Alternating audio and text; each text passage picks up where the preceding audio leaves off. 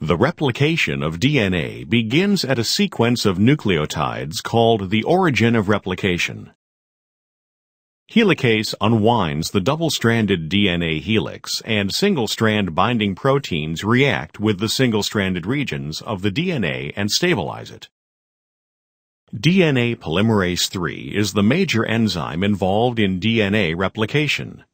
DNA polymerase III can only add a nucleotide to the 3' end of a pre-existing chain of nucleotides, and it cannot initiate a nucleotide chain.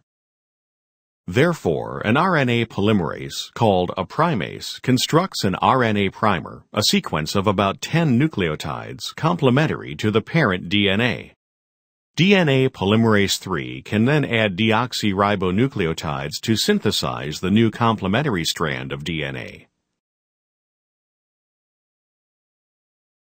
Because the two parent strands of DNA are antiparallel, they are oriented in opposite directions and must therefore be elongated by different mechanisms. The leading strand elongates toward the replication fork by adding nucleotides continuously to its growing 3' end. In contrast, the lagging strand, which elongates away from the replication fork, is synthesized discontinuously as a series of short segments called Okazaki fragments. When the DNA polymerase III reaches the RNA primer on the lagging strand, it is replaced by DNA polymerase I, which removes the RNA and replaces it with DNA. DNA ligase then attaches and forms phosphodiester bonds.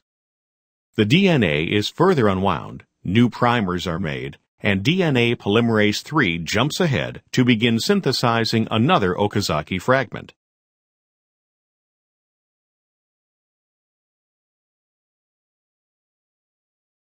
For simplicity, DNA polymerase III has been depicted as separate units, one acting on the leading strand and the other acting on the lagging strand.